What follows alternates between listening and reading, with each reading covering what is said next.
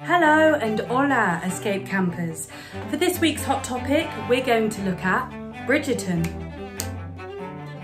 Dearest reader, the time has come to translate Bridgerton lingo into everyday lingo.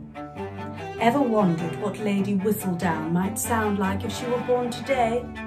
Let's take a look. Guys, my name is Lady Whistledown. Welcome to my channel. The time has come to place our bets for the upcoming social season. It's time for our singles to couple up and we want to know who you think has what it takes to make it last.